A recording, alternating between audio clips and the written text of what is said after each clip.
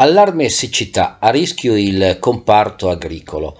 Attesa per un tavolo regionale che potrebbe sbloccare la situazione, intanto la regione Piemonte ha stanziato 56 milioni per l'agricoltura.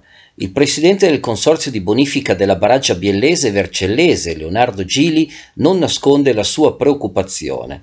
È una situazione drammatica, spiega. L'auspicio è che inizi a piovere o ci troveremo in serie difficoltà. Se il 2022 è stato un anno nero per l'agricoltura, il 2023 potrebbe essere ancora peggio.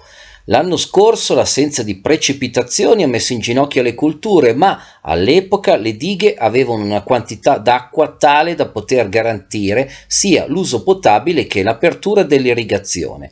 Ad oggi le dighe sono vuote. Si devono preoccupare solo i risicoltori o anche noi?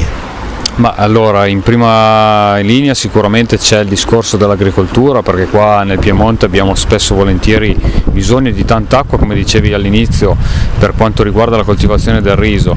Se la situazione non dovesse cambiare ci saranno nuovamente delle situazioni preoccupanti anche per gli abitanti della zona perché comunque è una, una crisi idrica che perdura ormai da tanti mesi. Ci sono dei precedenti, degli storici che a tu risulta come meteorologo di una siccità così importante in primavera? Beh, eh, sicuramente abbiamo avuto delle situazioni di siccità che hanno mh, preoccupato spesso e volentieri tutto il Piemonte, quindi non solo la zona del Biellese. In passato sono, sono venute, si sono registrate delle situazioni simili, ma quella che stiamo vivendo in questi ultimi mesi è sicuramente una delle più drammatiche. Tante anomalie anche nel senso del vento? Sì, quello che sta avvenendo in questi minuti, in queste ore, è un cambiamento radicale del tempo con clima primaverile qua in pianura e in tutto il Piemonte stiamo registrando delle temperature sopra media anche di 10-12 gradi grazie al vento di Favogno che sta iniziando a soffiare dalle Alpi verso la pianura per questo sbalzo, questa differenza di pressione che c'è tra diciamo, l'arco alpino, eh, eh, la parte nord dell'arco alpino e la pianura padana.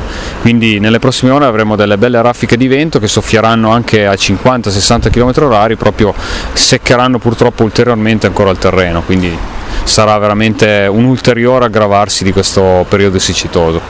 Si intravede una via d'uscita? Ad oggi abbiamo qualche diciamo, perturbazione, debole perturbazione ehm, per la metà del mese di marzo che è di origine atlantica, però nonostante ciò comunque non sarà sufficiente il risanamento di, questa, di, questo debito che abbiamo verso la siccità perché comunque mancano veramente le precipitazioni quelle importanti, quelle che il biellese come questa zona era abituato a vedere in maniera consistente nel periodo autunnale e soprattutto eh, il primaverile dove pioveva praticamente quasi tutti i giorni.